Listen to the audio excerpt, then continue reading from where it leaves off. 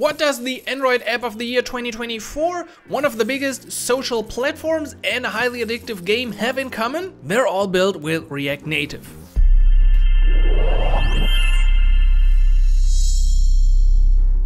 Hey React Native friends, what's up? Simon here from galaxies.dev. Today's app review episode is going to be special because we will not focus on like the small application that you build and criticize, but instead take a look at four highly popular applications that are all built with React Native. And we're doing this not to criticize those applications today, but instead to inspire you and show you what's possible with React Native. Because after looking at those four applications, I'm pretty sure that you will also think that everything is possible with React Native. The great thing is that these applications are either created by super small teams or by super popular companies. So that means everyone's really into React Native and no matter if your team is super small or super big, you can benefit from all the other benefits of using React Native and the latest advancements. And if you want to get into React Native because you're still not super sure, check out Zero to Hero on galaxies.dev. This is my new way of helping developers go from zero skills to releasing their first React Native application, understanding all the basics from styling to state management, animations and API calls and everything in between. So check out the mission and now let's take a look at these epic React Native apps. Alright, so the first app is Partiful. This is the Google Play Best App of 2024 and was actually a finalist for the uh, super popular App Store Awards. And it's basically a modern, fun way to create invites for your party. You can already see, and there's a lot of animations and stuff going on here. I probably have to close this if we want to look at the app in, in silence. So I already went through the login of this application, which brings me to this inside screen. We see nice animation here at the top. We're gonna see this at all the screens. It's using this blurry effect. And you're gonna notice like it looks custom, but it uses all the defaults. Though if I go up here, we got a simple bottom sheet. If I click on the notification, we just push another page. If I click on the bill, we go there as well. So all the things that I can do here are not crazy rocket science. These are things that are easily available to everyone with React Navigation, Expo Router. You see, we got some modals, we got some push animations going on, we got some blurry stuff at the header, but maybe it's just like scrolling our content behind the actual color at the top, which by the way changes. I just noticed this, right? There's like this this change of color going on. I love that. I love that. So again, here we got a cool scrollable view. That was a nice uh, switch between our main view and I think those are the things of like micro animations that people really love. So let's try to create a new event, uh, which brings us into this view. Again, you're gonna see it, it looks fancy, but honestly, like we got a default header up here. We got whatever kind of content you put in here. Uh, and we got a floating tab bar at the bottom, which is not too crazy. But of course, the things used in there are kind of, well, not crazy, but really like, this is cool stuff. But this is possible with React Native. I can set a date, this opens, um, well, no, it's actually a good picker, I think. It, it does exactly what I want to do. So I can set a date, uh, I can add co-hosts. This is so much fun. I should use this my own. I just never throw a party. uh, I can add a location here, uh, cost per person. These views, like, you could probably do some Expo uh, DOM components here because these views look kind of like, yeah, the other team can handle that stuff. Uh, I can open this going at questionnaire. This is really fun, especially like all the leaves flowing around. Uh, but all the details views in the bottom sheet, like there's no magic in here.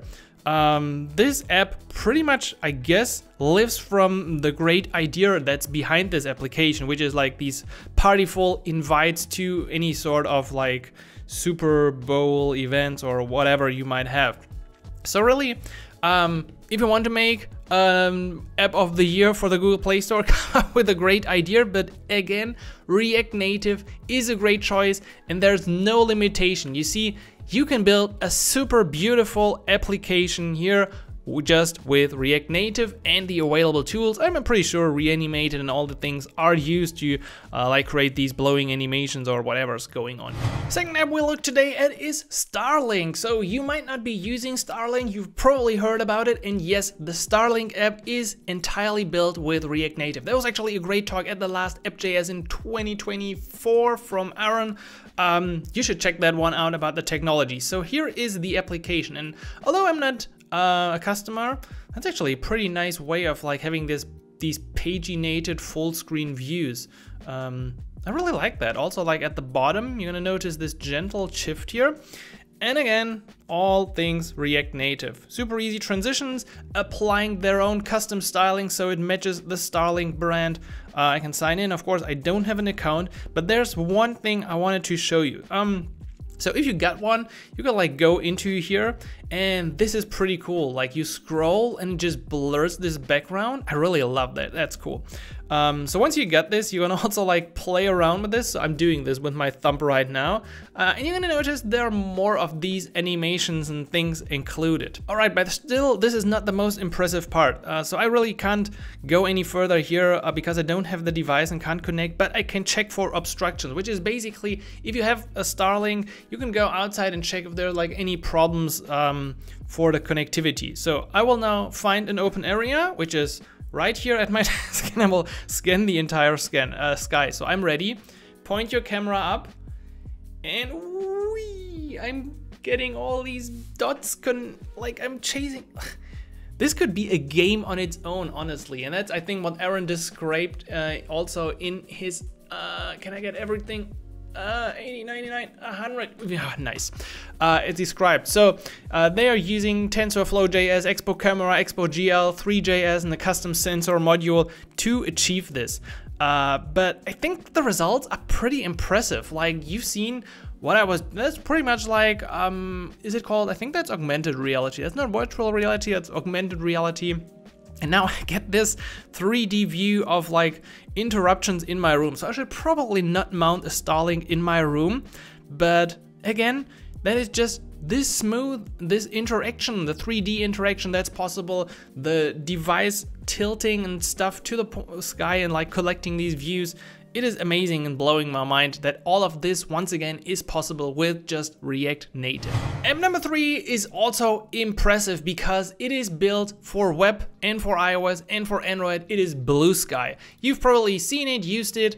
Um, it looks a bit like Twitter uh, or X right now, but um, it is a bit cooler. And all these things, uh, of course, now it's a bit more advanced, but initially were built by one person. So one person shipped this entire thing. Um, I mean, the background, the AT protocol is super impressive. I talked with Samuel and the Rocket Ship podcast. You should definitely check out that episode if you're interested in like how they pulled all of this up. But just like being able at this scale to deliver a great user experience with React Native, I think is just um, amazing to me.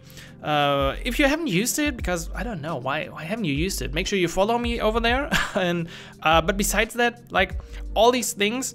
It, just works like the navigation I'm, I'm pretty sure like there's some interesting inside navigations going on here on this thing um, we got this cool header thing, of course, which is like many things are inspired by X. Uh, we got like the animations, um, shared element transitions, uh, but this is so cool. We should probably do like a little rebuild of that UI. Uh, let me know in the comments if you're interested in a little tutorial, but I think it's just great to see that React Native can be super advanced with like GPS and shaking your device and whatnot, and it can also be used for content heavy applications like Blue Sky, and it enables us to quickly move, and that might be the most important piece here, to build even like a super small team, an iOS, an Android application, and a great web page that is still like uh, totally fine for everyone's needs.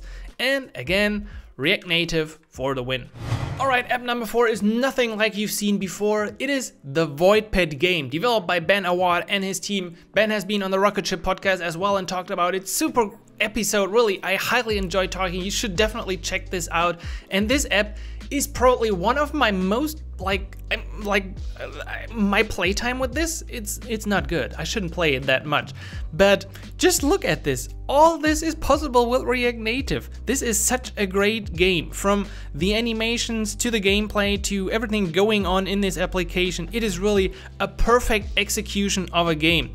So the idea is, is pretty much a bit like you got pokemon which are these void pets. Initially they had the wellness app like Void Pet Garden and now they built Void Pet Dungeon i now got my void pets uh, I can upgrade like the equipment, I can level up the void pets themselves and all of this just feels really really natural to me when you use this application. I'm honestly I really love it. Let's quickly do a battle here. Uh, I usually do an auto battle because I'm that good. There's even like a bit story. I usually skip that story Ben. Um, but these screens, uh, what's going on here? Yeah, I mean, it, it probably can't compete with something like Clash of Clans, but it really doesn't have to. I really love this view and what's going on in this view. I can see everything and it looks great to me. And it just feels good. So I cleared that floor, it automatically starts the next battle and the animations are cool. It's, it's a game. I mean, it's a great game and it's built with React Native. It's not using Unity, it's not using like Swift and, and native stuff here. All of this is possible with React Native, reanimated, with Rive animations, um, and actually pretty basic things as Ben explained on the podcast as well. Like there's no specific backend. I think for this he's just using an Express backend and initially they didn't even have any kind of backend. So all these things that you see in this application, also the cool bar stuff going on, is something you could do with React Native. And this app certainly highly inspired myself to um, create a game in the future because it is just so cool to know that it's possible. You just really need to put in some work to figure out the story and like how you monetize the game like the whole game loop thing. That's a different story. That's something React Native won't teach you. But everything else you see in this app from animations to transitions to um, like all the gameplay, that's possible with React Native. Alright, that's it for today's special app review episode. I hope you enjoyed this different format. Next time we're gonna review your applications again. But today I really wanted to focus on these apps because